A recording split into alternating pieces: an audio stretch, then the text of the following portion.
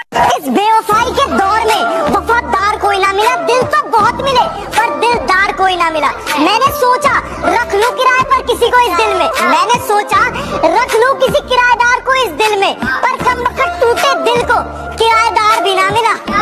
मुझे आदत नहीं हूँ हर किसी पे मर मिटने की। मुझे आदत नहीं हूँ हर किसी पे मर मिटने की।